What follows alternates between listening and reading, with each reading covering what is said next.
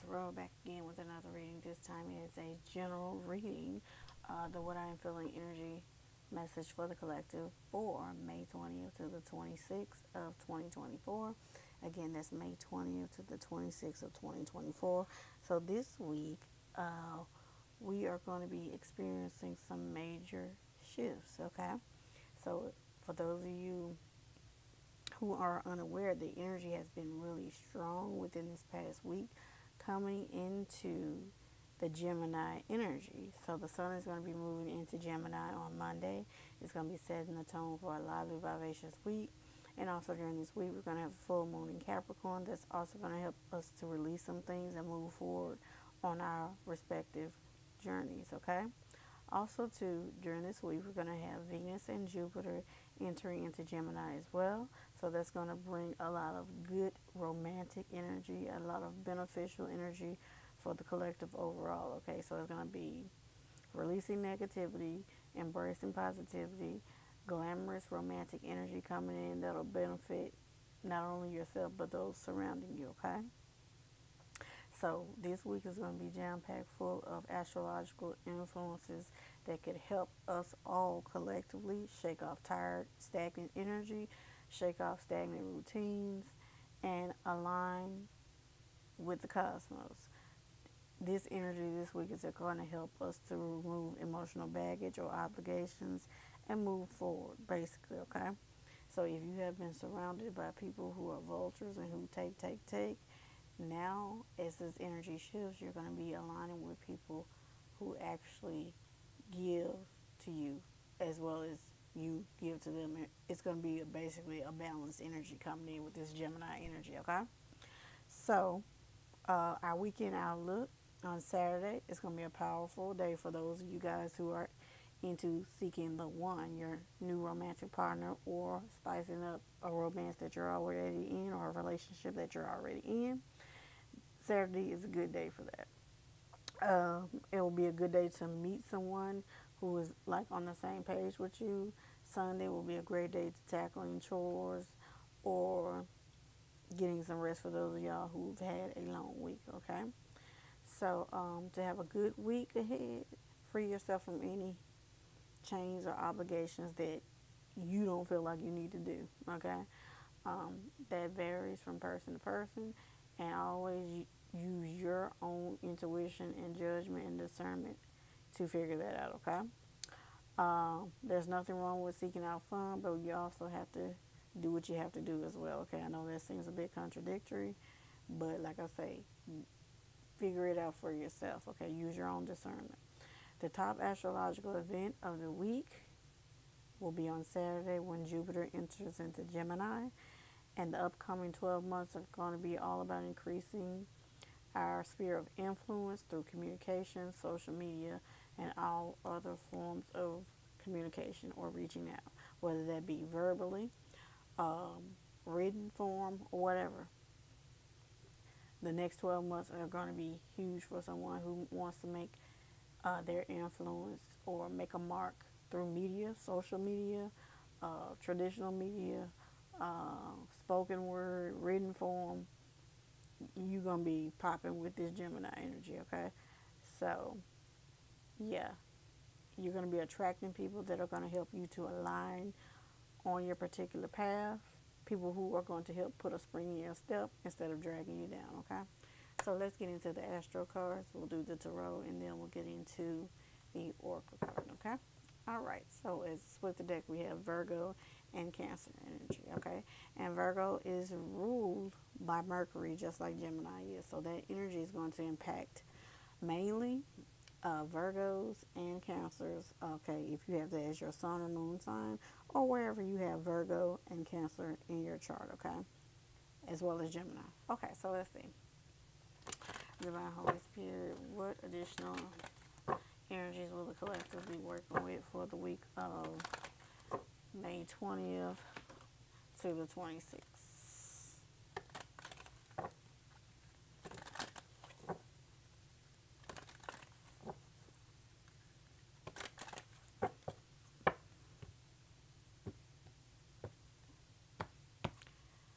All right, so we have here Pisces, okay, imaginative, compassionate, healing, empathetic, mystical, adoring, magical, allowing, dreamy, ephemeral, enigmatic, spiritual, emotional, escapist, impractical, oceanic, self-pitying, and illogical. When I think of that Piscean energy, whether it be water energy just in general, I think of dreams. So pay attention to your dreams. For some of y'all, y'all need to keep a dream journal. Uh, if you're like me, your dreams have been intense this past week, week and a half. Well, mainly after that uh, eclipse. so let's see here. Additional energies for the collective for the week of May 20th to the 26th. Eighth house. Okay. We have investments, intensity, contracts, S, SEX, erotic capital, secrets, mysteries, obsessions, inheritance, kundalini energy, stalking, and the underworld. Okay. Interesting. All right, additional energies at the collective. Okay. See, this one popped out. Sagittarius. I'm going to put this one back, but let's see what it is. Ah, okay, the sixth house. Sagittarius, the voyager. Enthusiastic, philosophical, independent, generous, ethical, seeking, happy-go-lucky, adventurous, honest, bareback, unbridled, experiential, lucky, boundless, traveling, risk-taking, tactless, and self-righteous. So that adventure energy is going to suit the collective well. Let's see here.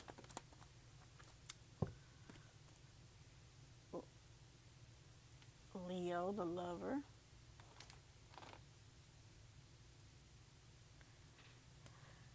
Expressive, creative, loving, playful, warm, overt, self confident, flirtatious, glowing, bedazzling, extroverted, vital, guileless, egotistical, juicy, proud, trusting, and excessive. So the sun energy, Leo, I say Aries as well, but Leo energy predominantly. I told you guys the sun will be moving into Gemini on Monday, and that energy is going to affect everybody, okay? So creative expression is going to be affected along with that Gemini energy, okay? So let's see what else. Divine Holy Spirit, do you have? Okay, we have the numinous, okay? That's mystery, the unknown, unknowable, ESP, psychic abilities, the cosmos, universal truth, oneness, source, the unnameable, shadow work, inner knowing, tingling, ghosts, other worlds, space, enigmas, the occult, and intuition. Some of y'all might be having some I'll just say visitations, okay? Or have already had them. Take it how it resonates for you. Okay. All right. What else, Spirit? One time. Okay. That six house wanted to come out. Taurus. That's that romantic energy. Taurus is ruled by Venus and Ceres. I hope I said that right. Taurus the bombshell, earthly, practical, steadfast, productive, fertile, tactile, ample, worthy, rife, pleasure seeking, sensuous, blooming, solid, possessive, tenacious, loyal, patient, and deliberate. That energy popped out. Alright. What else do we have here for the collective for the week of May 20th to the 26th of 2024? All right. Bam. There we go. Aries and Leo is on the board. Remember I told you guys I see that sun energy as being Leo and Aries. Here is Aries making an appearance. Aries the radical. Active, self-starting, daring, fierce, assertive, fiery, exhilarating, innocent, on a mission, bossy, driving, sparky, courageous, selfish, macho, impulsive, argumentative, and competitive. Okay. So not only do you have to look out for the positive aspects, we got all the fire signs on the board Aries, Leo, Sagittarius energy, okay? But also the negative aspects, okay? So let's see what is the overall energy. Surrender, subconscious mind, compassion, dreams. Remember, I was telling you about the Pisces energy that's coming back up. Pay attention to your dreams, whether it be your dreams at night and even your daydreams. Karma, forgiveness, baggage, when I said releasing emotional baggage, the 12th house is all about surrendering that. Trans states. Daydreaming is a trans state. the unseen, healing, spiritual development, guilt, prayer, and Akashic records. Okay, so pay attention to your dreams, your daydreaming, which is a trans state as well. Most people don't see it as that. Uh, focus on prayer, meditation, journaling, chanting, whatever helps you to surrender and release. Okay, let's see, 12 house. Okay, so let's get into this right quick. All right. So, Holy Spirit, what additional messages do you have for the collective for the week of May 20th to the 26th of 2024? As always, guys, with any tarot reading, take only the messages that apply to you and your specific situation. Leave the rest for someone else. If it doesn't apply, let it fly or give it time to resonate, okay? Alright, I always come back and check the energies after you've experienced and check the reading, okay, to see how it aligned. Hmm, that's interesting. Okay. Let's see.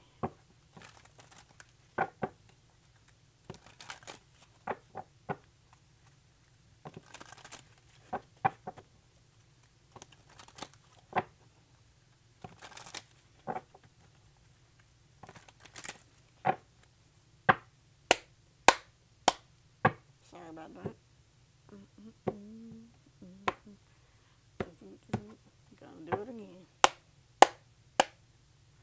Let's see here. Wow. Starting off Page of Swords. So, like I said, shifting energy, energy moving quickly, faster than most people expected. Okay.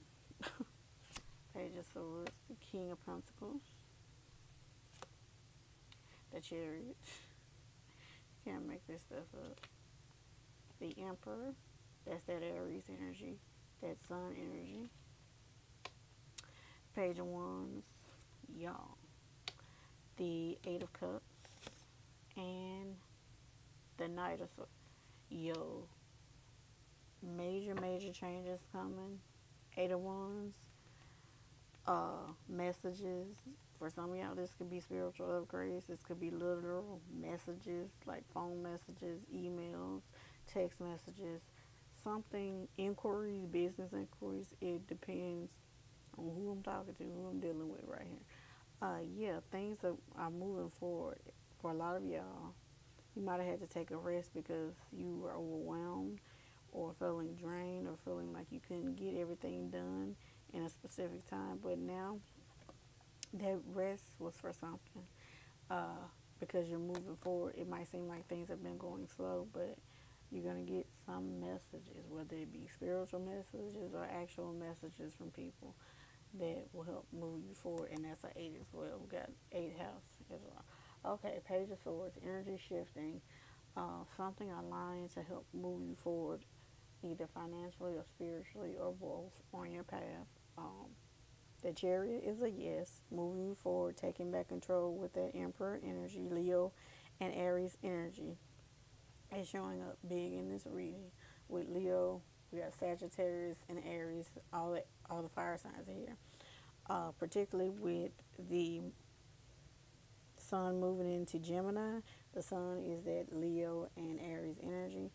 Some something is shifting. I don't know what. Something, whether it be your romantic life, your business or career endeavors, or even spiritually. For some of us, I believe like it's a collective of both along with this Pisces energy, that eighth house, I think that's Scorpio energy, and as well as the Eight of Cups represents all of the water signs. Something is being moved out of your way so you can move forward to what it is you truly are supposed to be doing. Like I told you guys in the astrological overview, things are aligning or things are being shed so that you can align to people, places, and things that serve you. And it's happened quick, quicker than you think because you went from a page to the Knight. Uh, we also have the chariot, and it, the chariot signifies you guys balancing both positive and negative energies, being a true alchemist like the magician. I'm surprised the magician didn't show up, okay? But nevertheless, we have the chariot and the emperor here taking control, even though you may not know where this cosmic alignment or whatever cosmic assignment you are on is leading you is leading you a path that will have you aligned with source, aligned with your destiny, and everything is moving in the right direction. Okay? Well, all right. Just saying. So if you don't feel like you're aligned, you are. Okay? So, wrapping up the reading, let's see here. Message for the collective for the week of May 20th to the 26th. Okay, let's see. A message for the collective.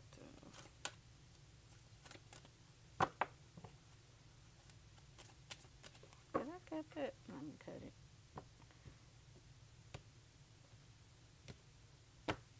Okay. That's too many. Can't take all those. Let's see.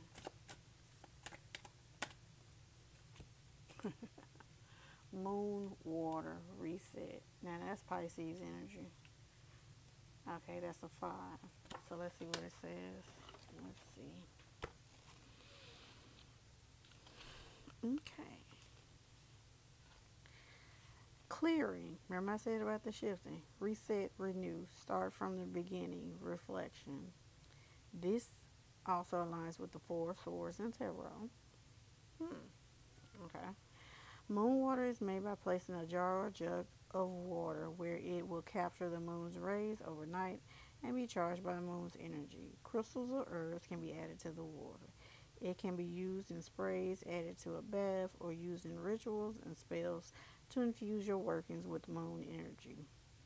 The most popular phase for making moon water is the full moon. Y'all, I told y'all we have that full moon in Capricorn, I believe it is.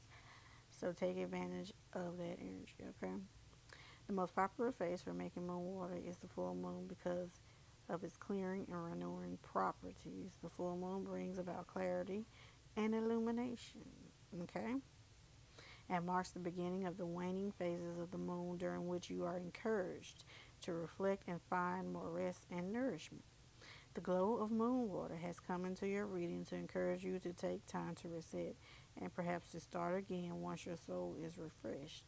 You are entering a period of pause and repose. Now is not a good time to start anything new.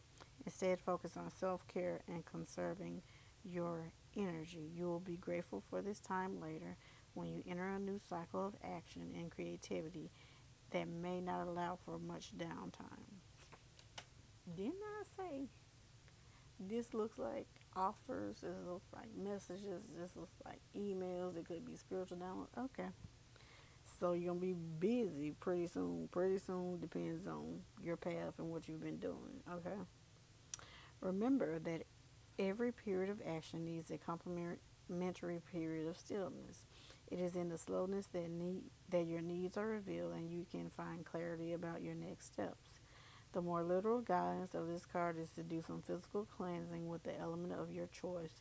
Smoke, fire, earth, and of course moon water are all excellent ways to clear stagnant energy and renew the spirit. Okay? So,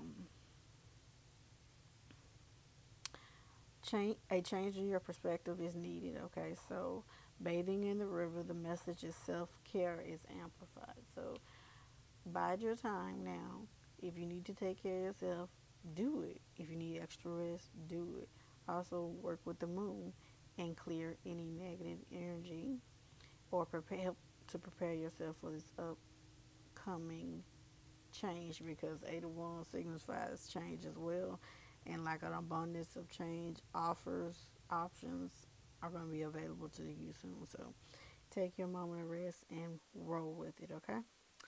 So that's all i have for the collective for the what i'm feeling energy message for may 20th to the 26th of 2024 i hope you guys enjoy the reading. If you did give the video a thumbs up share subscribe join our tribe hit the notification bell and i will see you guys in the next video. Bye guys